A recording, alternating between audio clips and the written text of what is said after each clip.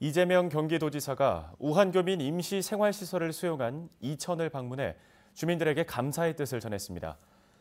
이 지사는 국방어학원이 위치한 이천시 이황 1, 2 마을회관을 찾아 주민들과 간담회를 갖고 주민들의 결단과 희생에 감사의 마음을 전했습니다.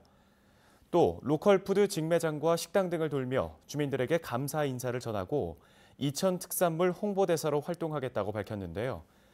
이에 앞서 이 지사는 우한 교민이 생활하게 될 국방어학원을 찾아 입구에 설치된 현장 상황실 근무자를 격려하고 위로했습니다.